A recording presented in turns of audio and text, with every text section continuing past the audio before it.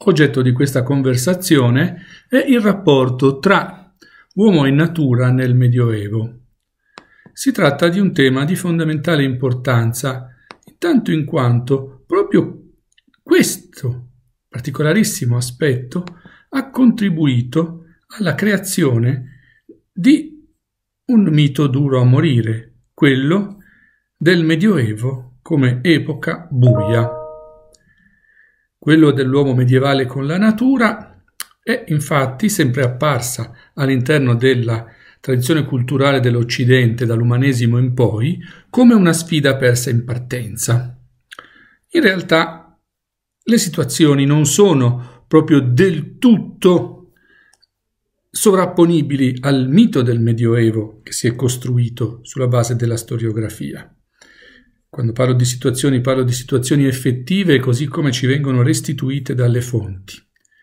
Il problema fondamentale è che una più serena e meditata riflessione sul rapporto tra uomo e natura ha, negli ultimi 50 anni almeno, provocato, determinato una considerazione nuova e diversa del Medioevo in un ottimo saggio sull'ambiente alto medievale come tema storiografico,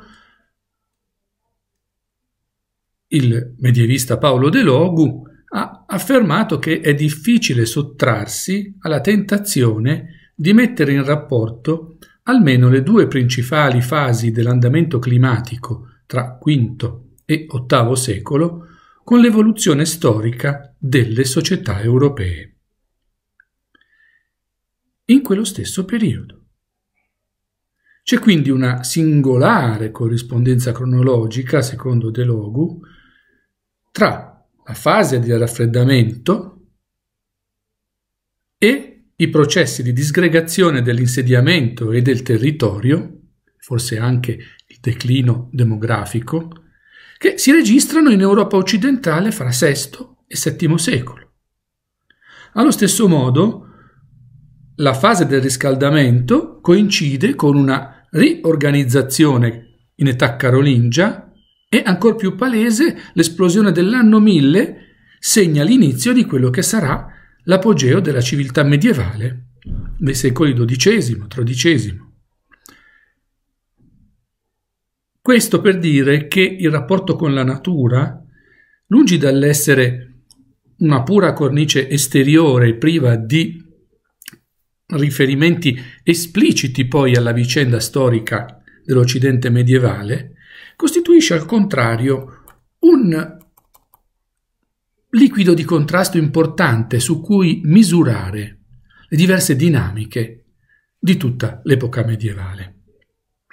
Proprio gli studi di storia del clima nel Medioevo sembrano ridare credibilità a una forma nuova di determinismo ambientale grazie appunto alla perfetta sovrapponibilità della cronologia che da questi studi scaturisce con quella delle principali trasformazioni sociali, economiche, politiche, demografiche e culturali perfino della storia medievale, al punto che potremmo disegnare una storia dell'Occidente nei secoli di mezzo scandita dalle modificazioni dell'irraggiamento solare e dalle conseguenti oscillazioni del clima. Uomo e natura sono quindi strettamente legati, anche se in quest'ottica deterministica il ruolo della natura appare addirittura preponderante rispetto alla volontà umana e alle sue realizzazioni. Non possiamo esagerare infatti con queste spiegazioni monocausali di tipo deterministico. E tuttavia nel Medioevo l'uomo quotidianamente faceva esperienza della sua debolezza, della sua fragilità nella sfida con l'ambiente, con un atteggiamento che noi soltanto oggi, mentre viviamo la pandemia del Covid-19, in qualche modo intuiamo in modo diverso rispetto a noi stessi, anche soltanto di sei mesi fa. La fragilità dell'uomo nella sfida con l'ambiente pone quindi l'uomo stesso in una posizione costituzionalmente subalterna che l'uomo moderno e contemporaneo fino a qualche mese fa, fino a qualche settimana fa, non riusciva a concepire. Nel Medioevo la tradizione cristiana, biblica e patristica venivano rielaborate. Esse avevano consegnato una concezione positiva del creato, che trova nel racconto della Genesi la sua espressione. Dio crea il mondo, crea l'uomo e ogni creatura è ai suoi occhi cosa buona, racconta la Genesi. Eppure l'esperienza quotidiana della natura, implicita come vedremo, poneva l'uomo medievale di fronte a, un sa- a uno scacco perenne, a una vita breve, dominata da malattie individuali e collettive, a un ambiente fisico ostile e predominante, a catastrofi naturali che di continuo contraddicevano l'ottimismo della Genesi. Per spiegare questa contraddizione tra una creazione buona e gli effetti nefasti dei rapporti con la natura che quotidianamente l'uomo del Medioevo poteva e doveva, suo malgrado, sperimentare, fu elaborata l'idea che Dio castiga gli uomini per i loro peccati, anche se il creato è di per sé buono. Da tale concezione teologica derivava anche la mancata distinzione tra cause naturali e fattori antropici. Guerra, fame e carestie, infatti, erano tutte accomunate nella percezione medievale dei flagelli inflitti da Dio a una umanità peccatrice. Questa idea influiva pesantemente sulla qualità delle fonti che ci informano del rapporto tra uomo e natura nel Medioevo. Quelle fonti sono ecclesiastiche, monastiche e amplificano quasi sempre e amplificano le catastrofi per offrirne una lettura sostanzialmente teologica in termini appunto di castigo divino. Esse quindi ci propongono un'immagine in qualche modo distorta del rapporto uomo-natura e lo storico quando si trova di fronte a queste descrizioni deve quindi fare la, la tara a siffatte rappresentazioni. Al di là di questa rifrazione che noi subiamo dalle nostre fonti, è tuttavia innegabile che l'uomo medievale provasse una sensazione di impotenza di fronte alla natura, perché si sentiva, come diceva Mark Bloch, sottomesso a potenze che non possono essere disciplinate. La sensazione della precarietà della vita era confermata dall'alta mortalità infantile, al netto della quale restava comunque bassa la lunghezza media della vita.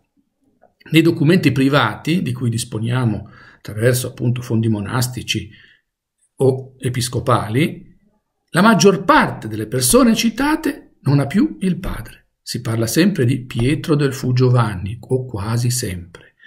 Le nostre fonti sono popolate, nell'Alto Medioevo, e in gran parte ancora nei secoli successivi di orfani e di morti e di relativamente pochi superstiti in giovane età.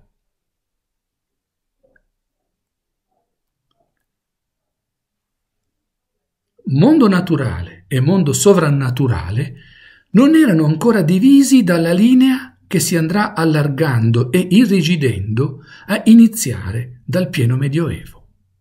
Nell'Alto Medioevo l'uno e l'altro, la natura e la soprannatura, erano fatti della stessa materia e gli scambi tra questi due mondi erano considerati appunto del tutto naturali, immediati. Perfino i fenomeni straordinari avevano spiegazioni naturali, mentre a partire dal XIII secolo sarebbero stati interpretati come fenomeni sovrannaturali e il paradiso, che nell'Alto Medioevo era ancora pensato come una sorta di giardino, di, di enorme giardino, avrebbe sempre più assunto una fisionomia nettamente spirituale. Pensiamo al paradiso di Dante, alla sua progressiva smaterializzazione. fisionomia spirituale e quindi sempre meno materiale e assimilabile quindi al reale sottoposto all'esperienza quotidiana dell'uomo, che invece della materia aveva una esperienza fin troppo diretta. Jacques Berlioz giustamente invita ad abbandonare una visione troppo pessimistica del rapporto uomo-natura nel Medioevo, quando si parla di calamità naturali, pestilenze. Dice Berlioz, la volontà di sopravvivenza, gli atti quotidiani ed efficaci contro le disgrazie sono stati troppo a lungo passati sotto silenzio da storici poco critici verso le loro fonti ecclesiastiche e inclini a rappresentare la paura come motore della storia. Davanti alle sciagure, dice Berlioz, l'Occidente ha nell'insieme dato prova di uno straordinario dinamismo, già nel Medioevo. La sfida dell'uomo alla natura, alla natura si risolve all'insegna della capacità di adattamento, come risposta a un limite considerato ineliminabile, ma comunque affrontabile. Questo naturalmente ci obbliga in sede storica a considerare il rapporto uomo-natura nel corso del Medioevo non come un tutto indistinto, ma in una prospettiva storica, quindi nella dimensione diacronica. Le scarse possibilità di incidere sull'ambiente naturale produssero nel corso del Medioevo una serie di reazioni che possiamo interpretare alla luce della categoria perfino usurata ultimamente di resilienza. Il termine in fisica indica la proprietà dei materiali di resistere agli urti senza spezzarsi. In psicologia la capacità di autoripararsi dopo un danno, di far fronte, di resistere, ma anche di costruire, di riuscire a riorganizzare positivamente la propria vita, nonostante situazioni difficili che fanno pensare a un esito negativo. Ebbene, nell'Alto Medioevo, ma più in generale nel Medioevo, l'uomo si mostra resiliente rispetto alla natura e alla difficoltà di questo rapporto con la natura. L'uomo viveva un rapporto con la corporeità estremamente problematico perché era segnato dalla terribile esperienza quotidiana del dolore fisico, che non risparmiava nemmeno papi e imperatori. La prima e più brutale risposta alla precarietà della vita era quella di aumentare il numero dei figli. Perfino Carlo Magno, vissuto più di 70 anni, dovette rispondere alla morte di numerosi dei suoi eredi moltiplicando la propria prole. È questo solo uno dei molti modi attraverso i quali nell'Alto Medioevo e per molti secoli ancora l'uomo si mostrò resiliente, adattandosi di continuo alle sfide che gli venivano da una natura soverchiante e dalla progressiva perdita degli strumenti che nell'antichità romana avevano consentito agli uomini di conseguire significativi successi nella lotta con la natura, con l'ambiente. La prima difficoltà di fronte alla natura era costituita dall'impossibilità nel Medioevo di misurare lo spazio e di prevederne con esattezza l'estensione. Il viaggiatore dell'età romana poteva quantificare le distanze leggendo le pietre, le pietre miliari, misurare l'estensione del paesaggio attraverso il sistema delle centurie. A questa dimensione matematica dello spazio subentrò nell'Alto Medioevo l'esperienza della distanza e il cammino percorso si misurava in giornate di viaggio e non più in miglia, anche perché le pietre miliari non dicevano più la verità. Non solo il viandante dovette adattarsi alle nuove condizioni, ma perfino le strade romane, che nell'antichità avevano per così dire violentato la natura, superandone con gallerie, ponti e viadotti le asperità, cambiarono il loro percorso, adattandosi al paesaggio quando queste strutture, gallerie, ponti, viadotti, non erano più utilizzabili a causa della loro decadenza. Lo stesso accadde per le scelte insediative. Mentre in età romana la mancanza d'acqua veniva superata con la costruzione di acquedotti che rendevano abitabili città prive o comunque carenti di risorse idriche, nell'Alto Medioevo tutto questo non era più possibile e i nuovi insediamenti sorti tra VIII e X secolo nacquero a ridosso di boschi e boscaglie, di corsi d'acqua, di zone umide nella pianura alluvionale, con un impatto leggero, graduale, con un sostanzia- sostanziale adeguamento alla configurazione e alle risorse dell'ambiente naturale, senza trasformare radicalmente vocazione e carattere del territorio. Anche, diceva Vito Fumagalli, per la paura di porsi in alternativa con l'ordine delle realtà di natura. La selvatichezza che caratterizzava il paesaggio alto medievale, prima dell'agrarizzazione del suolo, iniziata nell'undicesimo secolo, non escludeva l'intervento dell'uomo in senso assoluto, ma piuttosto ne determinava l'agire entro i margini che gli erano concessi da una natura soverchiante, nella quale il clima rigido e piovoso aveva provocato alluvioni, retrocessione delle linee costiere, avanzamento dei ghiacciai, crescita dei boschi e degli spazi coperti da paludi che rendevano inutile ogni tentativo di contenzione delle acque. Ciò nonostante, l'antropizzazione del territorio si realizzava comunque sebbene con modalità che si adeguavano a un paesaggio sostanzialmente inselvatichito. Per questo, pure nei secoli V-VII, le foreste, soprattutto a sud delle Alpi, non erano completamente sottratte al controllo umano. Al contrario, spazi deserti e solitudini erano ai margini delle zone abitate e in stretta contiguità con esse, meta di quotidiane diuturne incursioni di contadini pastori e di contadini cacciatori, i quali erano pienamente integrati in una natura ancora troppo forte per essere in qualche modo sfidata. Con il IX secolo la situazione cominciò lentamente a cambiare, talora per effetto della crescita del monachesimo, del suo affermarsi, anche se il legame tra presenza benedettina e disboscamenti è sempre più messo in discussione. Gli interventi dei monaci avevano infatti un carattere assolutamente puntiforme e non avevano dimensioni tali da, da mutare nella sostanza il paesaggio. Il già citato De Logu ha osservato che il contrasto con la natura selvatica non trovava nel mondo monastico, dice De Logu, espressione ideale nella conquista agraria degli spazi produttivi ma nella costruzione di ambienti fortemente organizzati, in cui l'utilità si associava all'amenità.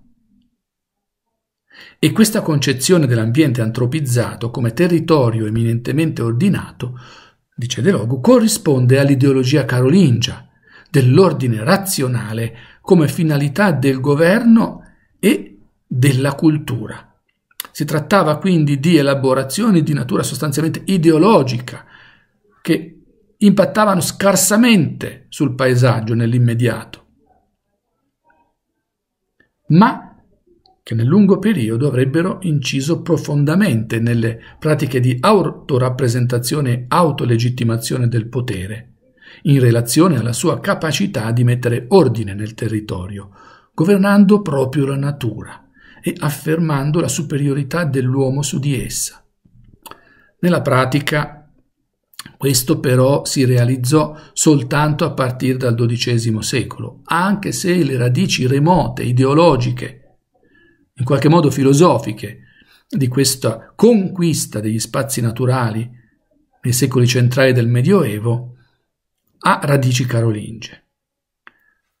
A partire dal XII secolo, su scala europea, si verifica l'agrarizzazione del suolo, una sempre minore estensione delle zone incolte, boschive e palustri, ridotte a una funzione complementare rispetto alle aree sulle quali si concentrava l'attività dei contadini, la cui funzione assumeva anche a livello simbolico un'importanza sempre maggiore.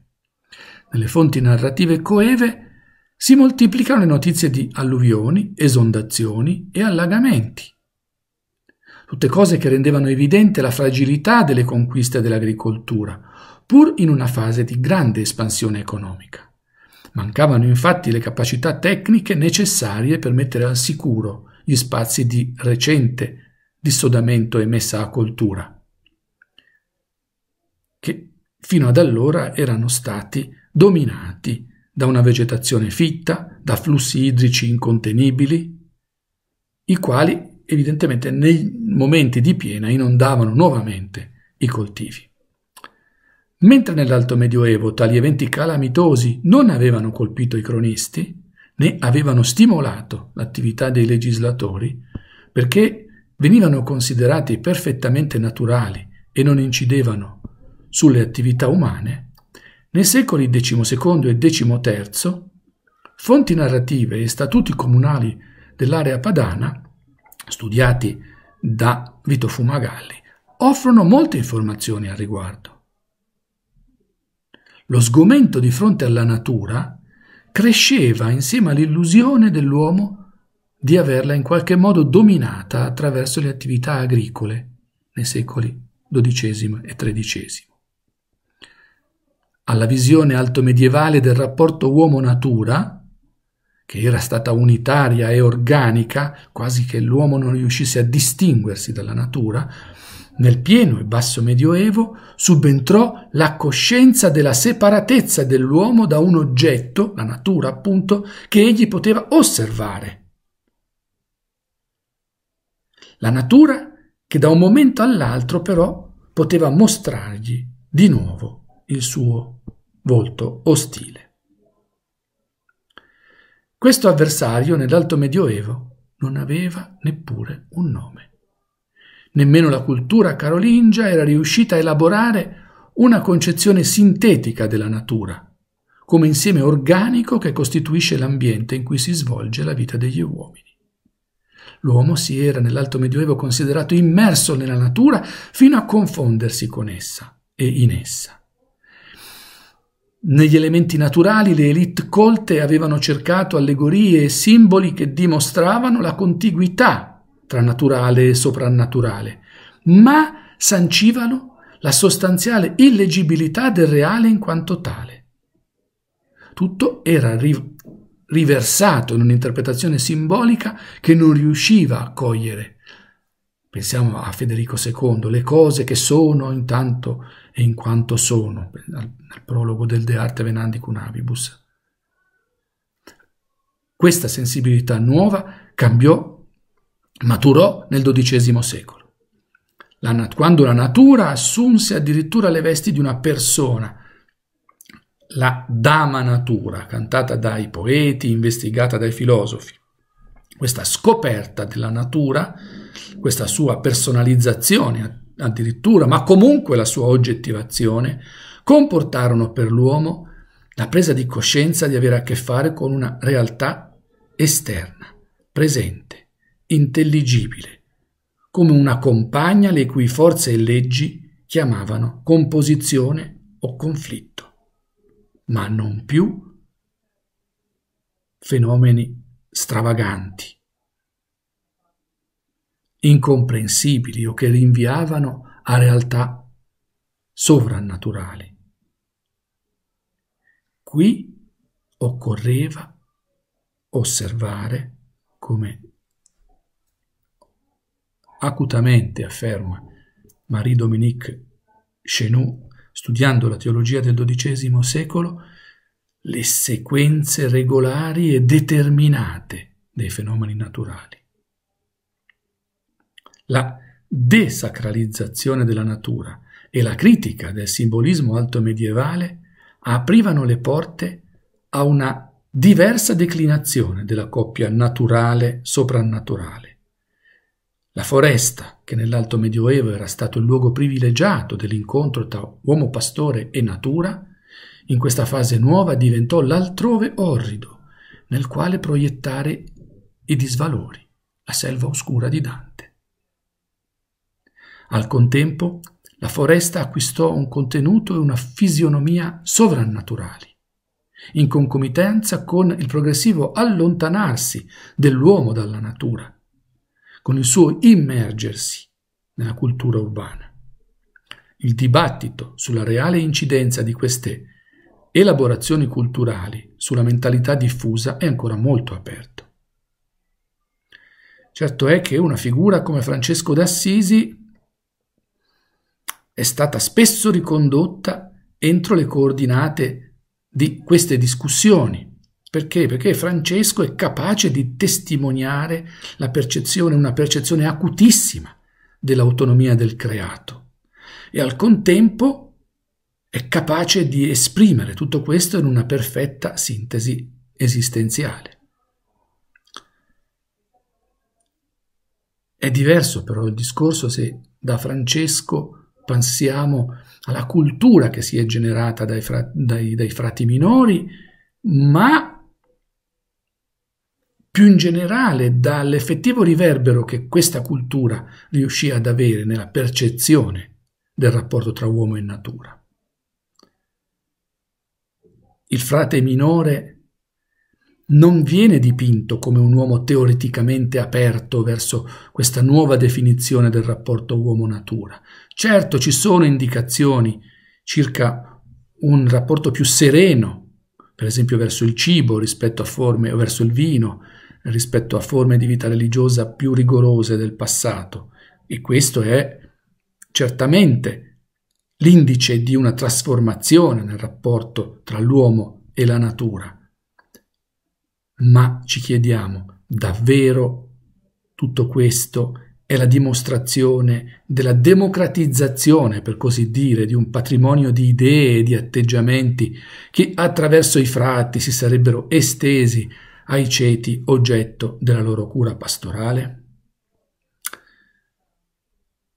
Davvero quello dei francescani fu un ordine ecologico i nostri entusiasmi sono raffreddati dal fatto che il francescanesimo non coltivò questa componente ecologica, la quale ebbe un ruolo marginale nella definizione identitaria di questa nuova religio. Per questo risulta difficile valutarne l'impatto sulla società. Al contrario, la crisi del Trecento ci porta nella direzione opposta rispetto a questa visione positiva del creato di matrice francescana.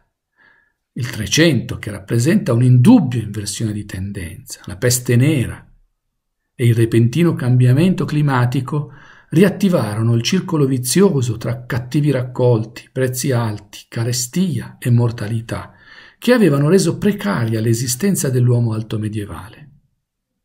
La natura lanciava di nuovo la sua sfida all'uomo, che non reagì utilizzando le risorse culturali elaborate nel XII secolo. Al contrario,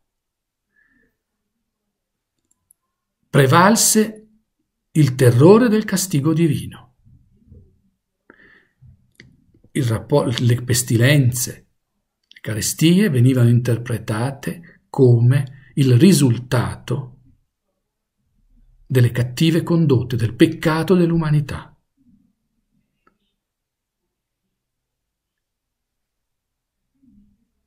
E quindi siamo di fronte a una spiritualità in cui l'ascesi e la dimensione penitenziale prevalgono nuovamente, sebbene con toni nuovi, ma che comunque vanno in una, in una direzione diversa da quella tracciata da Francesco. Se vogliamo osservare i riverberi artistici e culturali di questa nuova temperie al tempo della peste nera, è sempre utile il classico volume di Miller Miss tradotto negli anni 70 in Italia dall'editrice Einaudi. Miller Meiss, Miller Miss. Il basso medioevo consegnò essendo debitore di questa visione oscura, per qualche modo, del rapporto dell'uomo con la natura, alla modernità una percezione negativa della natura stessa, nuovamente percepita dall'uomo come un nemico indomabile, fonte di sfide continue davanti alle quali egli si sentiva nuovamente impotente. Mentre nel, XII e XIII secolo l'uomo occidentale, dopo averne tematizzato l'autonomia, aveva pensato di poter raccogliere il guanto di sfida della natura, alla fine del Medioevo le pestilenze e un ambiente sempre meno governabile resero acuta la percezione dello strapotere della natura, della sua immodificabilità attraverso la tecnica. Questo passaggio della percezione della natura da madre a matrigna interferì, perfi- interferì perfino con i linguaggi politici del 3400. A fronte di una retorica che ancora nel 200 aveva messo in evidenza il peso dell'elemento umano e procedurale nella definizione degli assetti del potere, tra la fine del Medioevo e la prima età moderna ebbe la meglio quella che è stata definita la naturalizzazione delle posizioni sociali e delle istituzioni di dominio, in vista di, della normalizzazione delle pratiche di governo degli stati dinastici che si affermarono in Europa.